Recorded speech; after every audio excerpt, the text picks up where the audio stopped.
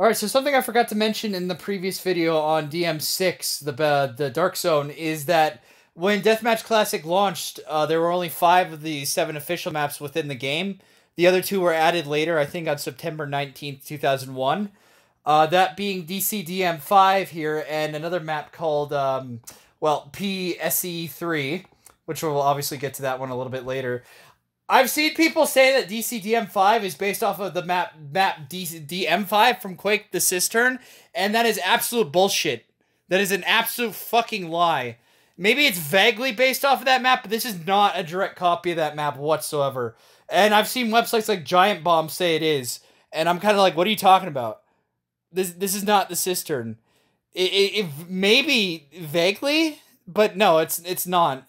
If you played the Cistern and like like you know Quake, it is just totally not that map. So yeah, um, it's good though. I don't know who made it. I don't even know like if it actually is based off of a community map. I couldn't find like or a community map from Quake or anything like that. I couldn't find any evidence of that. I think it's called DCDM five because it's the like you know fifth deathmatch map, like you know called DM DM two three four six. That's four, and then there's five. So it's both the fifth one and it's five even though there's five maps because DMC, EM1, M2. It's DMC because it's Deathmatch Classic Deathmatch. It's just saying what it is.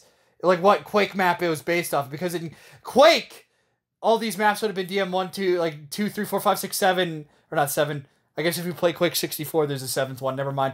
But yeah, that's what like this without the like DMC underscore is what the map was in Quake, and they added in DMC underscore to tell you that this is the DMC version of that.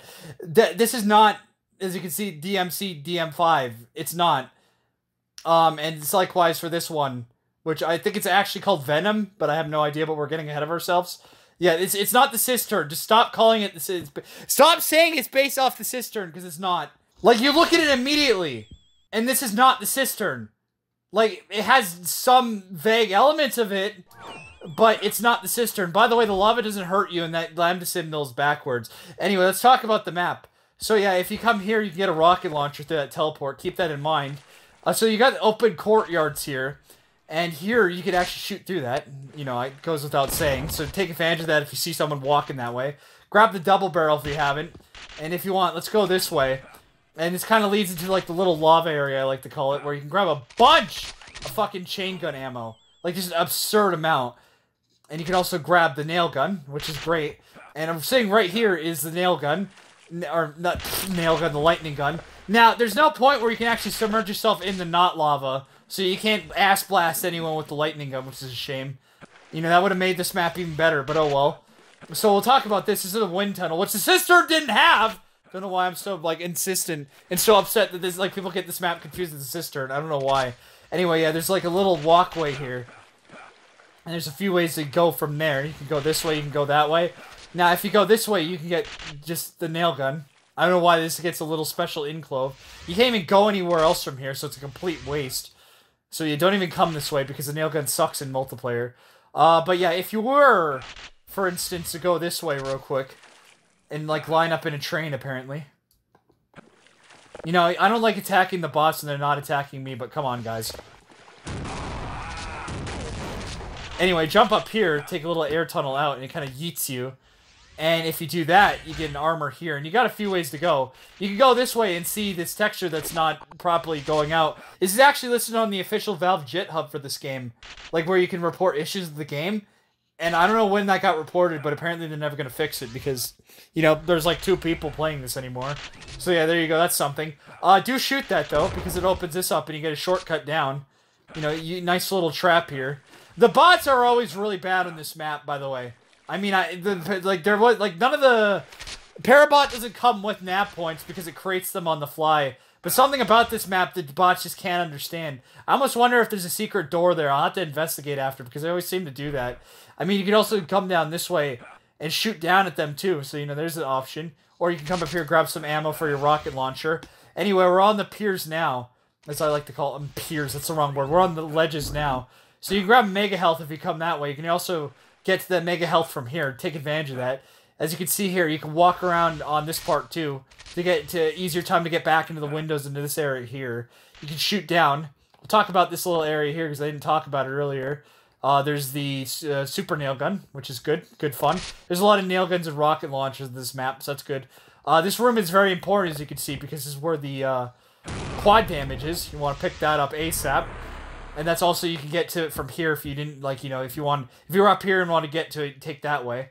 Obviously, it leads you back into this area over here. I don't really... Yeah, I showed that earlier. And you're to notice, too, there's a lot of areas where you can shoot through to, like, other parts of the map. To keep that in mind, because, you know, that's to be really helpful. I'm to just stop for a second. I need to see what Stevie's barking at.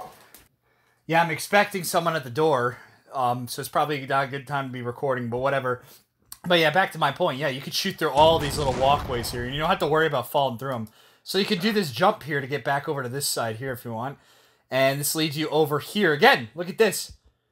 You can actually fall through that. And I actually forget that every time, but of course, if you're not terrible at the game, you can come back over, back through there, and you could be shooting down there too. Keep that in mind. You could be also shooting there. That leads us back to that room, but I've already talked about that one. So yeah, here you go. This courtyard's got a lot in it, as you can see. It's got a super shock, or it's got a super nail gun. Ooh, and it's got a grenade launcher. So that's cool. And obviously this is back now, so if you want for maximum pain, grab that.